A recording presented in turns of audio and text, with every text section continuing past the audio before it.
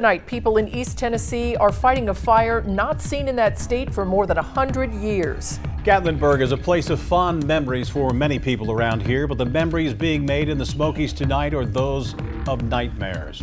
Good evening, everybody. Parts of Gatlinburg and Pigeon Forge, places more than 11 million people visit every year, are destroyed. Three people have lost their lives, and tonight there are prayers for rain, but fears of wind.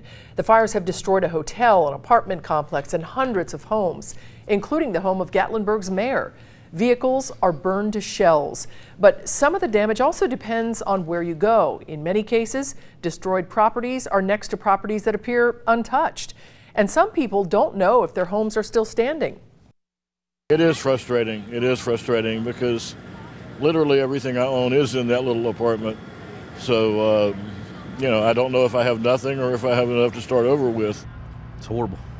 I mean, it's just, I mean, it's devastating to, you know, I mean, all those people lost their homes and businesses and everything else. I mean, things they've worked hard for. It has been a dizzying 24 hours to say the least. Brandon Orr tells us how it got to this point. We've been talking about wildfires in the Smoky Mountains for weeks now, but Monday afternoon, conditions came together in all the wrong ways to make fire growth explosive around very populated areas like Pigeon Forge and Gatlinburg. Take this into perspective.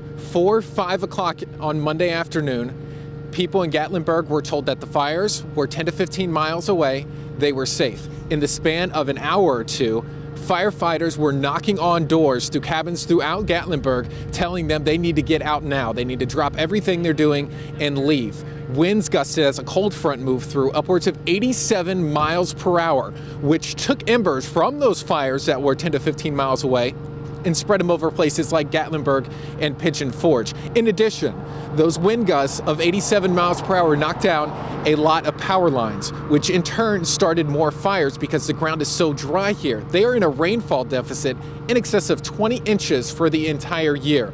That's an exceptional drought.